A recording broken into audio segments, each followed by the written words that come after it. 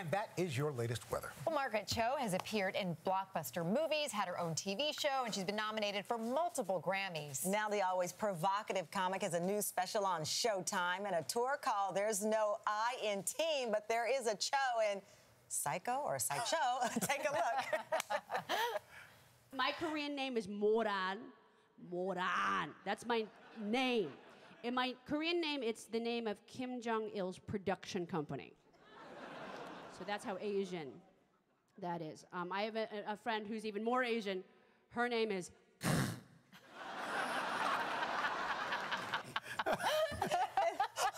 Moran is with us now.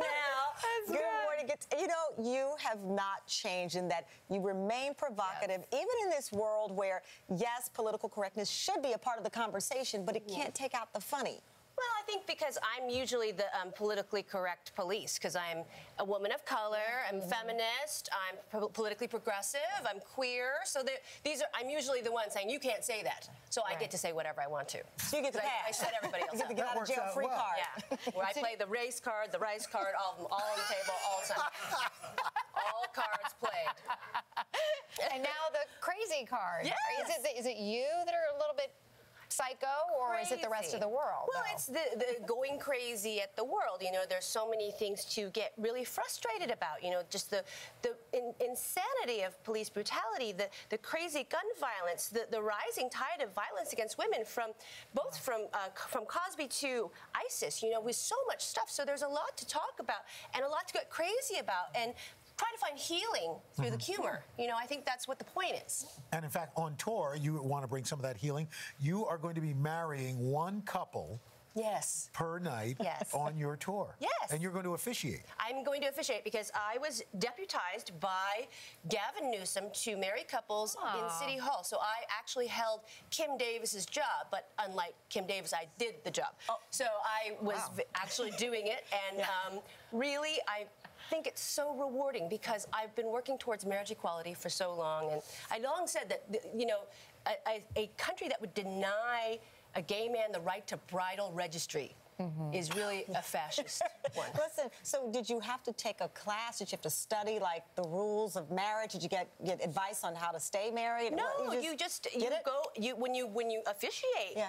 uh, weddings, you just go and you officiate. so you just do it, and usually people will have you read traditional vows, or you'll read Mm-hmm. Okay. vows that they've written, or they will read vows to each other. Uh-huh. And so it's always different, but it's very rewarding. So I'm really pleased. Yes, it's wonderful. Your I- dad was a comic, was a was a joke book writer, Yes. and I I got to tell you, I used to collect when I was a kid the Arrow Book of Jokes and Laughs and my Scholastic First Book of Jokes. What was it like growing up with a joke writer? Well, I could never understand it because my joke books were like totally tasteless jokes for. So my my sense of humor is much more mm-hmm. rotten than his. He's much more sophisticated than I am. But it was great because he really encouraged a literary life for me, and he's very. My mother was not so excited when I told her I was 14 Right. and I said I wanted to be a comedian. She said.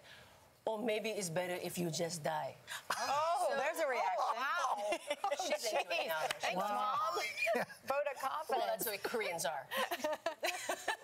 We're a mean race. my. I think. Oh, now we're told you have two truths and a lie Yes. for Oh, us. yes. And we have to figure out it. which is the lie. Um, okay, uh, I am completely allergic to squid and octopus. Okay. Okay.